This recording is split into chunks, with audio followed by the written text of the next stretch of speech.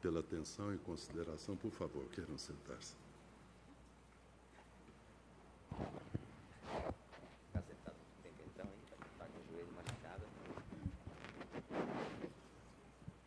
Declaro aberta mais esta sessão da subseção especializada em dissídios individuais do Tribunal Superior do Trabalho.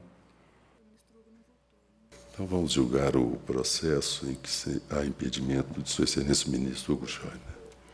Relator, excelentíssimo senhor ministro Emanuel Pereira, processo RO 159.200, dígito 32, de 2008, em que são partes Caixa Econômica Federal e Volney Outto. Impedido, excelentíssimo senhor ministro Hugo Scheuermann. Com a palavra, Sua Excelência. Senhor presidente, senhores ministro Emanuel Pereira. Muito obrigado, presidente. É, Trata-se de recurso ordinário interposto em face do acórdão do TRT da Quarta Região, em que julgada improcedente a pretensão desconstitutiva, sem remessas dos autos ao Ministério Público do Trabalho, é o relatório sucintamente, senhor presidente. Pois não. O primeiro tema é cerceamento e defesa, não configuração. Pretensão desconstitutiva, digo eu, calcada em violação dos artigos 322 do CPC e 5 34, letra A, e 54 e 55 da Constituição Federal, ao argumento de que o juízo da primeira vara do trabalho de Santa Maria, Rio Grande do Sul, ao indeferir a juntada da petição com alegação de matéria de direito, em momento anterior à prolação da sentença rescindenda, teria ocasionado posteriormente o não conhecimento do recurso ordinário patronal, na medida em que, entre os documentos anexados com a referida petição, se encontraria um instrumento de mandato.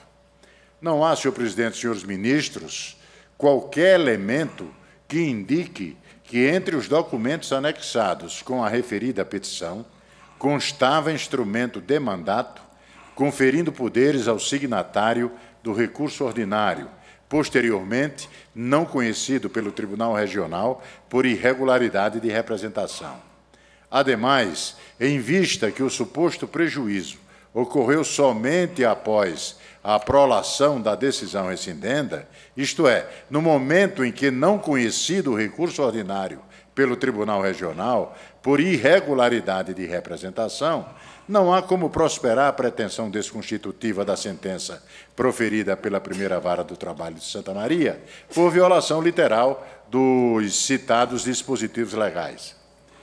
O segundo tema, senhor presidente, é horas, é, horas extras, violação dos artigos 62, inciso 2 e 224, parágrafo 2 da CLT, não configuração. Digo eu, senhor presidente, que nos termos da súmula 410 do TST, aspas, a ação rescisória calcada em violação de lei não admite reexame de fatos e provas do processo que originou a decisão rescindenda, fecho aspas.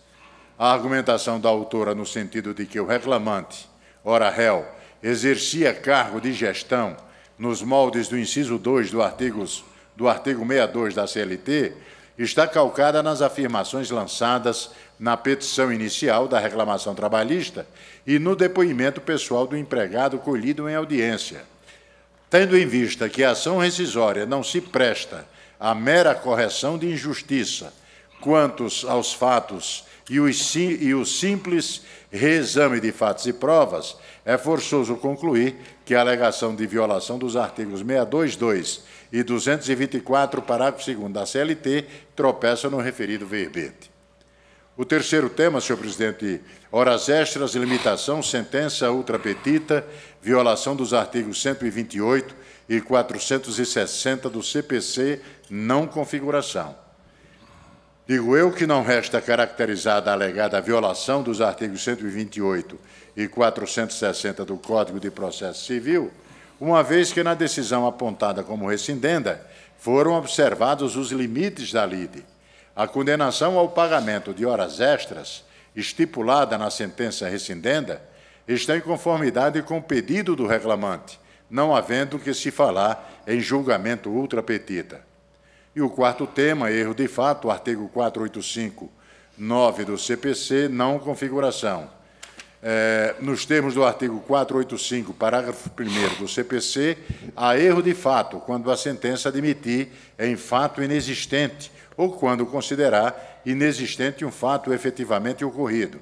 O parágrafo 2 do mesmo dispositivo legal dispõe ser indispensável, num como noutro caso, que não tenha havido controvérsia nem pronunciamento judicial sobre o fato. O caso em exame, senhores ministros, é, não é a hipótese em que o julgador admite um fato existente como inexistente, ou inexistente um fato efetivamente ocorrido, pois inexiste qualquer engano de percepção por parte do julgador.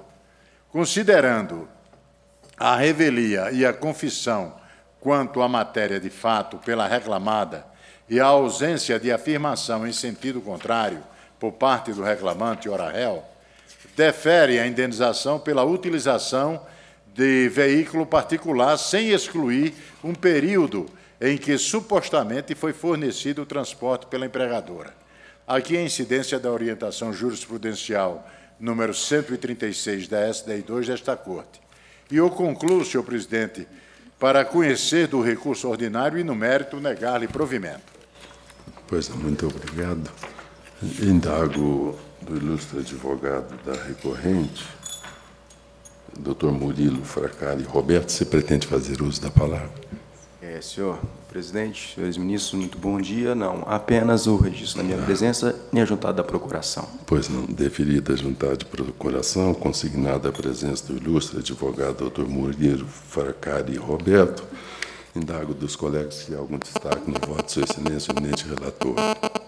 Senhor presidente, apenas um pedido de esclarecimentos ao nobre relator, porque vejo aqui na, no trecho do voto, que é objeto do erro de fato, a afirmação de que, na petição inicial, o reclamante teria afirmado, em relação ao pedido de horas extraordinárias decorrentes de viagens, que seriam até as 22 horas, ou seria a jornada até as 22 horas. E o erro, de fato, teria sido porque o tribunal não considerou esta limitação já posta na petição inicial. E eu, por isso erro de fato. E eu não vi essa referência aqui da indagaria relator se esse aspecto especificamente é analisado no voto de sua excelência. Ministro, Localiza na petição inicial para ver se há essa observação aqui. Na... Senhor presidente, é, no meu voto, eu apenas digo que não há erro de fato, porque a sentença admite um fato inexistente. Aliás, eu digo que há erro de fato quando a sentença admitir um fato inexistente ou quando considerar inexistente um fato efetivamente ocorrido. É, o, o, parágrafo 2 do mesmo dispositivo legal é, dispõe ser indispensável, num como no outro, que não, há, não tenha havido controvérsia nem pronunciamento judicial sobre o fato. E realmente não houve. O caso em exame não é a hipótese em que o julgador admite um fato existente como inexistente, pois inexiste qualquer engano de percepção por parte do julgador que, considerando a revelia e a confissão quanto à matéria de fato, pela reclamada e a ausência de afirmação em sentido contrário por parte do reclamante ora réu, defere a indenização pela utilização do veículo particular, sem excluir um período em que supostamente foi fornecido transporte pela empregadora. A alegação de erro de fato está calcada no fato de que o reclamante teria limitado o pedido de horas extras ao período em que ocorreram eh, visitas às agências da Caixa Econômica em outras cidades. Aqui na petição, se me permite, senhor presidente, na petição inicial, que acabo de verificar nos autos, as folhas 46 dos autos originais, consta a seguinte afirmação, abro aspas. Além disso, suas atividades incluíam viagens semanais em visita ao PV,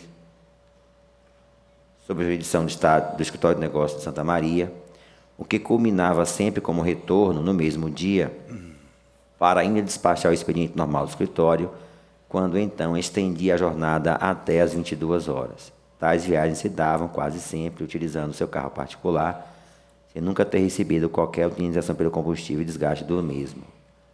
Então, essa afirmação é que seria aquela, e vou conferir o pedido, é, da petição inicial, pagamento de horas extras pedido, excedentes à sexta diária com acréscimo de 50% sobre o horário normal, até a data de desligamento, com reflexo, etc., domingos e feriados, considerando a jornada trabalhada às 7 às 22 horas, com um maior intervalo para refeição. Então, segundo diz o autor, a autora da ação, ao condenar em viagens, não se observou essa limitação da jornada indicada na petição inicial até às 22 horas. Então, este seria o erro de fato que o tribunal não considerou existir, isto é, a jornada declarada na petição inicial até às 22 horas. Por esta razão, então, senhor presidente, com a devida vênia do eminente ministro relator, eu parcialmente divido de Sua Excelência nesse aspecto, para considerar caracterizado o erro de fato, no sentido de não observar o tribunal a jornada quando em viagens até as 22 horas. É como eu voto, senhor presidente. Senhor presidente, a argumentação das viagens, ela está lançada na petição inicial como exemplo da extrapolação da jornada contratual. Daí por que, presidente, pedindo vênia ao ilustre ministro Brandão, eu estou mantendo o voto. Na sequência, voto, Sua Excelência, a ministra Dora Maria da Costa. Aliás, ao ministro Alberto Bresciano. Presidente, com esclarecimento do ministro relator, acompanho Sua Excelência, pedindo vênia à divergência. Como voto, Sua Excelência, a ministra Dora Maria da Costa. Da mesma forma, senhor presidente, acompanho o relator pedindo vênia à divergência. Como voto, Sua Excelência, o ministro Caputo Bastos. É importante o esclarecimento do ministro Emanuel. Desta forma, também pedindo vênia ao ministro Cláudio Brandão, eu o acompanho. É, eu vejo que, na realidade, é, o erro de fato não estaria bem caracterizado, mas se poderia cogitar de julgamento é, ultrapetita e não extrapetita. Mas, na realidade, a petição ela fez uma explanação a título exemplificativo e, no final, ao formular o pedido, o fez claramente nesse sentido, sem essa limitação. Então, eu penso que não há o erro de fato, tampouco o, o julgamento não extra, mas ultra petito, que teria sido dado mais do que se pretendera, porque, na verdade, isso remonta à interpretação dos termos da inicial, que, evidentemente, refoge aos lindes estreitos da ação rescisória. Eu fazer uma interpretação, e aqui os termos da inicial suscitam pelo menos uma certa dúvida. Tanto suscitam que Sua Excelência, o eminente ministro Cláudio Brandão, entendeu de uma maneira e Sua Excelência, o relator, entendeu de outra. Então, não há algo tão expressivo, tão contundente, conclusivo, que autorize esse corte rescisório. Pedindo vênia adulta divergência, também acompanho o relator. Quem que está impedido?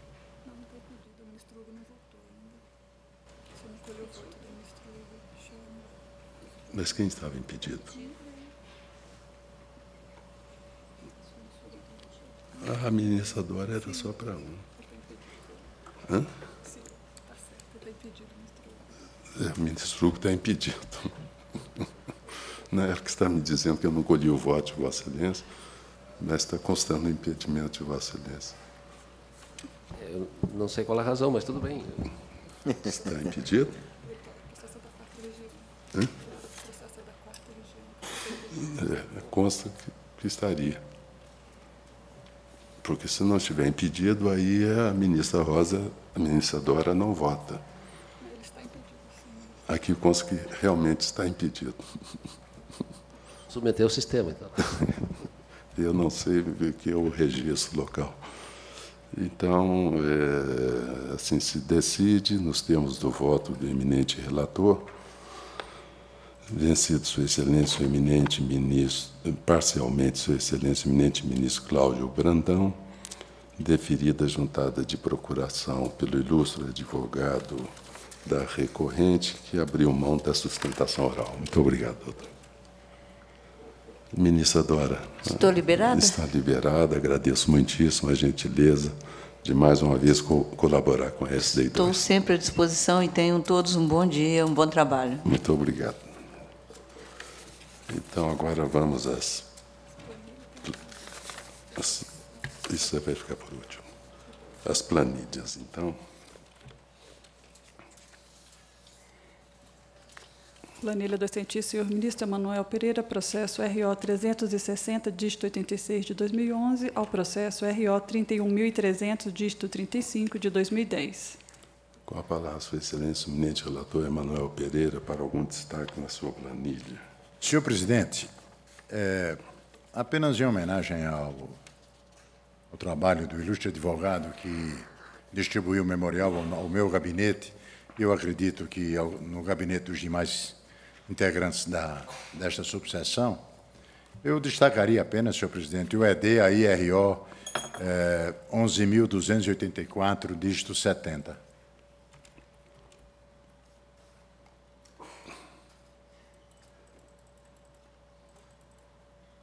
Não. Hum? ED. É, ED no AIRO 11.284, dígito 70.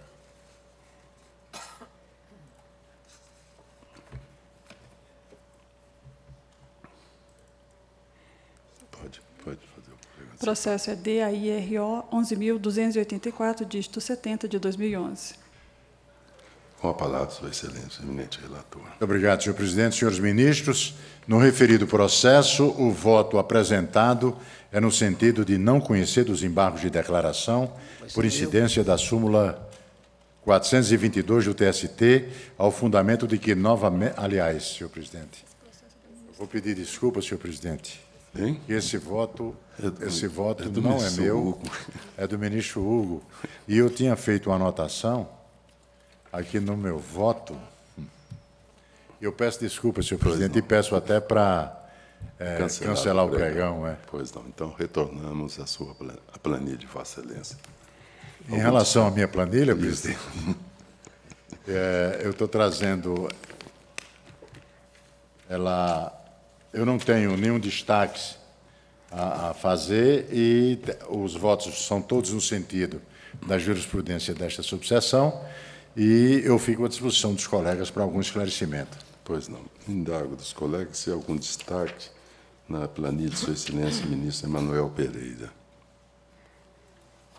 Senhor presidente, eu tenho um ressalva de entendimento no RO 360, só registrar a ressalva, e vista regimental do processo 508, 86, 2011, etc. Deixa eu só ressalvar. É o primeiro, qual é, ministro? Eu já passei para a Secretaria a ressalva, então não Ah, preciso nem passou? registrar, né? Ah, Só vista regimental do então processo faça o 508.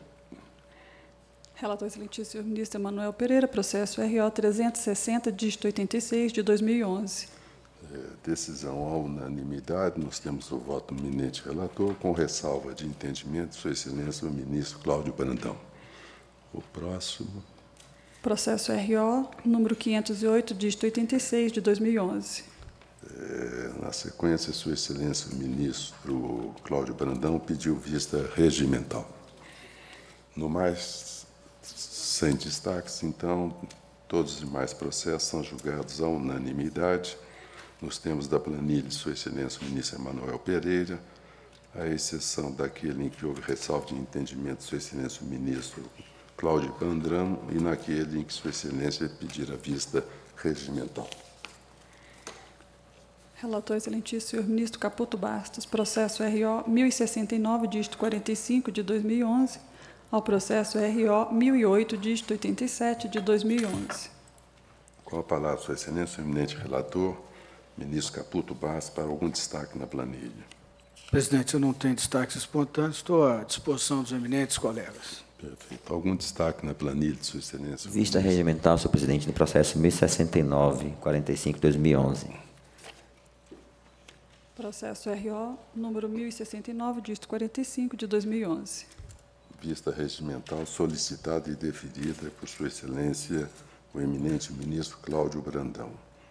No mais, não há destaque, são julgados todos os demais processos, a unanimidade, nos termos da planilha de Sua Excelência, o eminente ministro Caputo Bastos.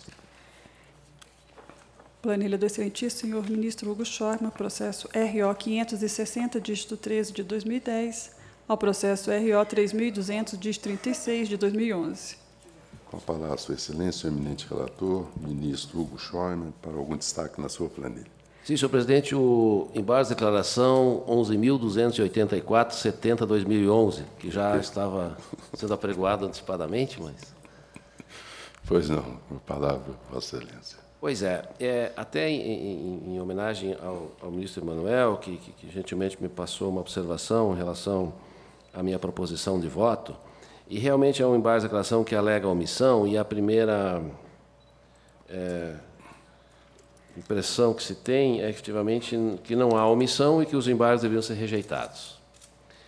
Mas são tão incongruentes as, os, os, as razões dos embargos de declaração que, que em nenhum momento se referem especificamente à decisão propriamente dita, aos fundamentos da decisão, mas requerem um novo julgamento e repetindo é, questões que nada dizem respeito à hipótese de embargo de declaração, estava propondo inicialmente não conhecê-los por aplicação analógica da súmula 422 mas confesso que tenho dúvidas a respeito. O melhor é rejeitar mesmo. Melhor é rejeitar? É rejeitar. Eu acolho a ponderação de Vossa Excelência, primeiramente do, do, ministro Emanuel, e, e, e, pelos mesmos fundamentos, apenas vou, Isso, vou apontá-las e, e rejeitar para.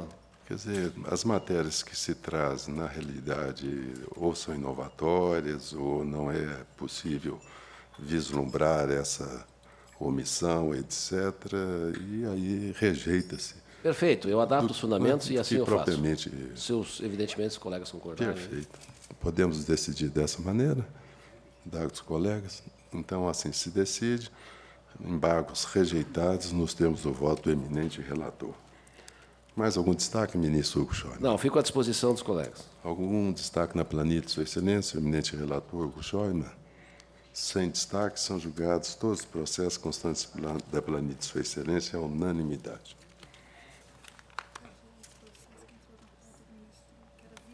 Ah, sim. É, o ministro Alexandre Belmonte estava com vista regimental do recurso ordinário 70.863-2011, traço 5.21.0000. Ocorre que Sua Excelência justificou a ausência nesta sessão, de modo que o retorno da vista regimental fica adiado para a próxima sessão.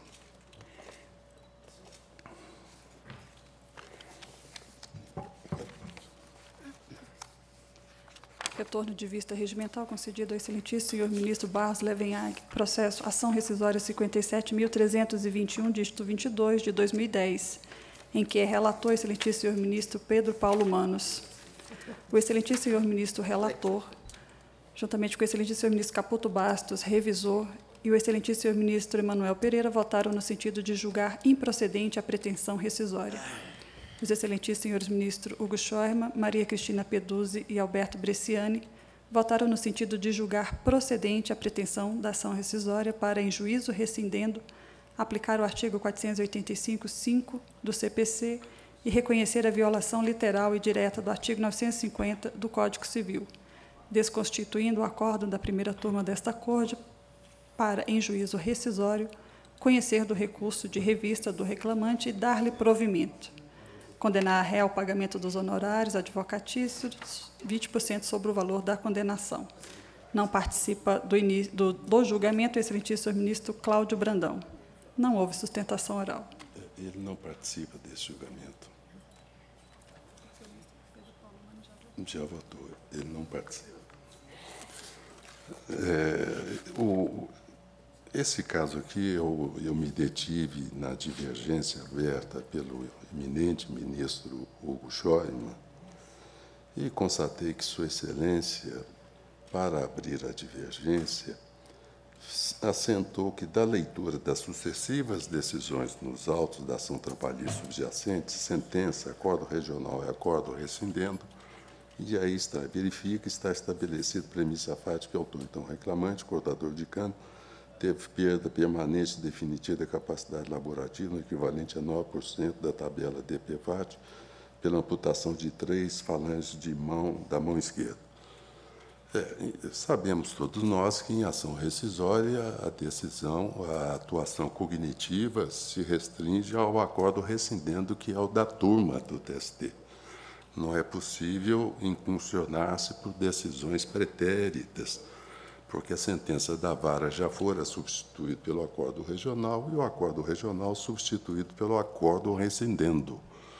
Porque se formos fazer essa incursão na contramão da súmula 410, a ação rescisória deixa de ser uma ação especialista para se transformar num recurso ordinário, porque eu vou lá nas provas e etc. Mas ainda que se voltasse ao acórdão do regional que foi mantido em sede de recurso revisto pela terceira turma, eh, em relação à violação do artigo 950, do violação dos artigos 1539 do Código 16 e 950 do Código Civil em vigor, é, verifica-se, e faço isso excepcionalmente em homenagem ao, ao doutor ministro Schäuble,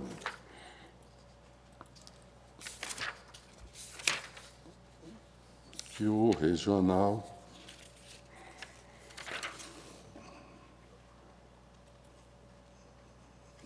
o regional ao tratar, porque veja, houve a perda da falange com, e a perícia qualificou que essa perda fora definitivo, mas não comprometeu mais do que 9% da atividade laborativa. Os danos morais e estéticos foram deferidos, no valor de 40 mil reais. E fora, fora indeferido na sentença e mantida em sede de recurso ordinário o dano material.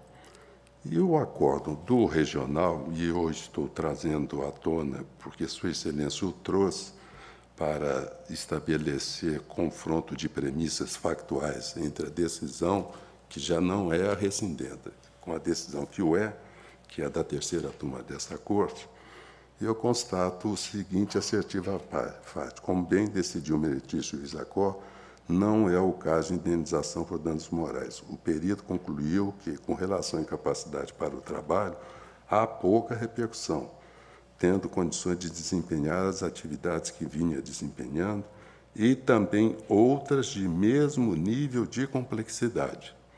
Reconheceu que houve a perda da capacidade correspondente a 9% de acordo com a tabela da SUSEP, mas emendou em perspectiva factual inamovível, em sede de ação rescisória, que o reclamante retornara ao trabalho de cortador de cana. Ou seja, houve uma, uma perda, mas não inviabilizou o trabalho, tanto que ele retornou ao trabalho de cortador de cana. Quando houve o recurso de revista e se trouxe essa questão, o, no acordo em que não se conheceu, se firmou a tese de que não se pode aferir as apontadas ofensas aos artigos 1539 do Código Civil e 950, na medida em que referidos dispositivos legais também não trata do percentual aludido no acordo revisando. É, aqui, certamente, é, houve um, um erro da, da, terceira turma na decisão, porque a indenização por danos moral e estético já fora fixada em 40 mil reais, e o recurso buscava a condenação em danos materiais. Houve embargos de declaração, e, e nos embargos de declaração,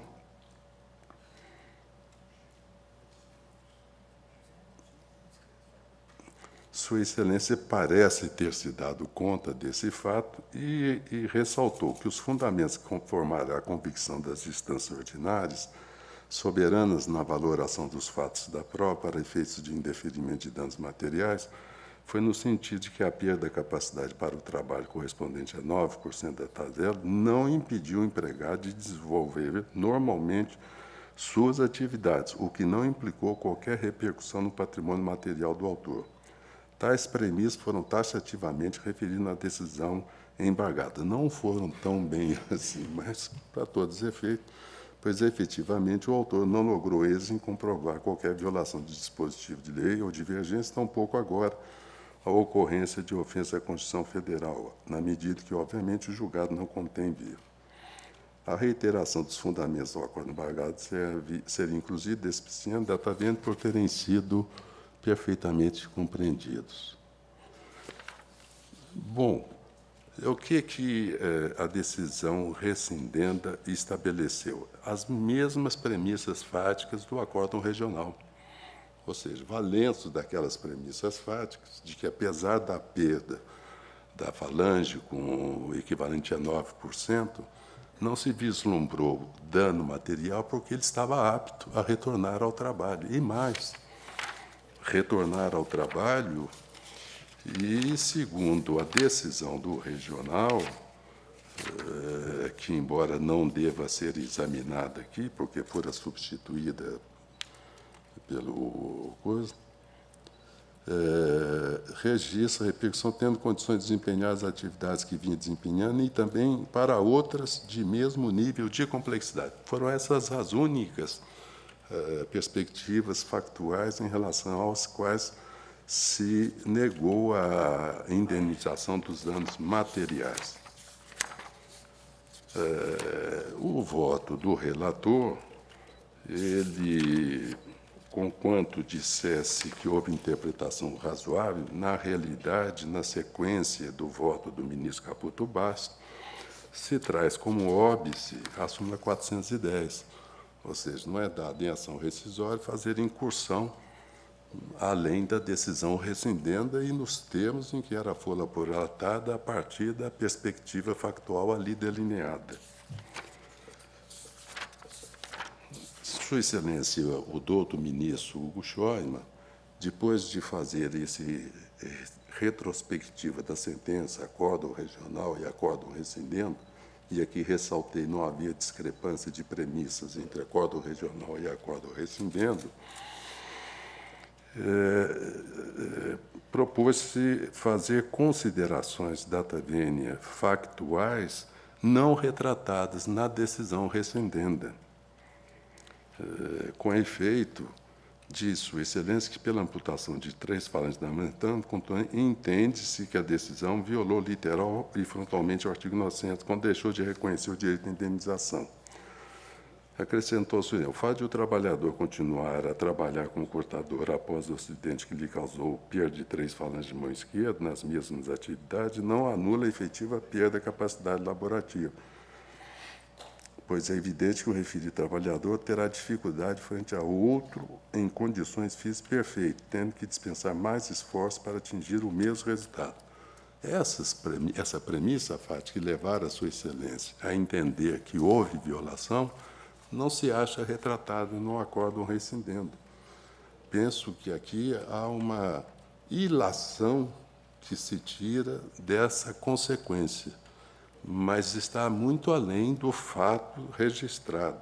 Ou seja, o regional, a decisão rescindendo, não se pôs a dizer sobre se efetivamente aquela, aquele acidente implicaria naquilo que Sua Excelência assinalou dificuldade frente a outro empregado em condições físicas, tendo que dispensar mais esforço para atingir o mesmo resultado.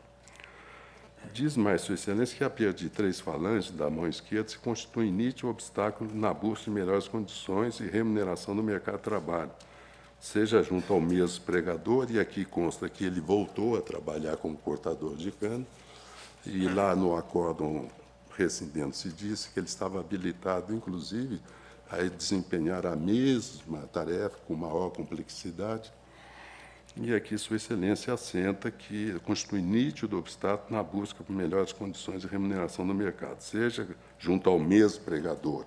E isso contrapõe-se a certificado factual do, do acordo rescindendo, que diz que ele retornou ao serviço, restringindo direito fundamental ao crescimento profissional, visando reduzir as igualdades sociais. Se negada a indenização quanto presente o dano e o nego-se a culpa, estar-se-á violando. Ora, esse trecho, tal como colocado, realmente é indicativo de violação.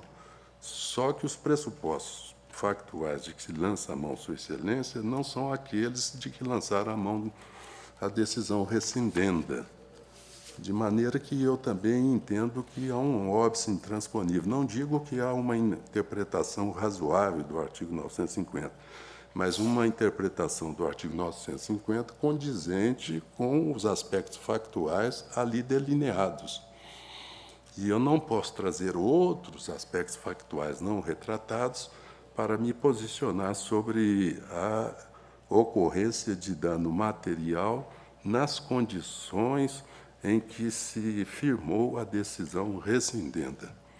Do contrário, nós passaríamos a ir além da decisão para cogitar de aspectos factuais ali não retratados, e a ação rescisória deixaria de ser uma ação desconstitutiva da coisa julgada para se transformar num recurso, nem de índole extraordinário, mas ordinário, em que nós passaríamos a rever a injustiça da decisão para proceder à sua correção, o que, evidentemente, extrapola o âmbito restrito de cognição da ação rescisória que visa desconstituir a coisa julgada material em razão de um dos vícios elencados no artigo 485 do CPC.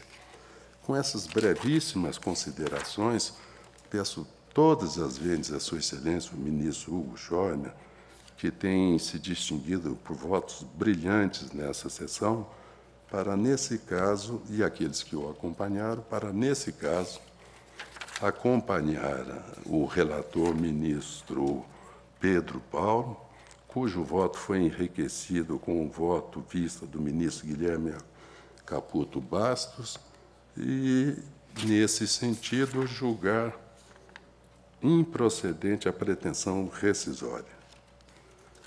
Proclamo, portanto, que, por maioria de votos, a subseção julgou improcedente a pretensão rescisória, vencidos Suas Excelências os ministros Hugo Scheumann, Alberto Bresciani e e Cristina Peduzzi. É, Vossa Excelência, ministro Hugo pretende juntar a declaração de voto vencido? Sim, senhor presidente. Juntada de declaração de voto vencido ao pé do acordo, por Sua Excelência o ministro Hugo Scheumann, e o ministro Caputo junta o voto convergente. Também deferida a juntada de voto convergente com o relator da lavra do ministro Caputo Bastos. Então, assim se decide por maioria. Presidente, apenas uma dúvida. A, a... Não, não. Vossa Excelência pediu visto e quem vai assinar o acordo sou eu. Ah, perdão. Isso. Com a aposentadoria do ministro Pedro Paulo Manos, a presidência assina o acordo, que foi da relatoria dele. Eu apenas me reportei ao seu voto vista para chegar à mesma conclusão de que a questão estava eh, obstada pela súmula 410, porque estava havendo incursão por aspectos fatuais não retratados na decisão residente e sequer na decisão do regional que fora submetida a exame em sede de recurso de revista. Por isso é o óbice da, da, da 410 e para decidirmos assim, com todas as vênias, penso que estaríamos corrigindo eventual injustiça que teria incorrido a decisão rescindente. Então, o relator mantém-se a relatoria do ministro Pedro Paulo Mano, cujo acordo será assinado pela presidência da subseção. Assim se decide. E hoje foi rápido. E hoje foi rapidinho. Então, não temos mais processo em condições de julgamento. Agradeço muitíssimo a presença de todos os colegas sua Excelência, a doutora Maria Guiomar Santos Mendonça, senhoras e senhores servidores, e declaro encerrada a sessão.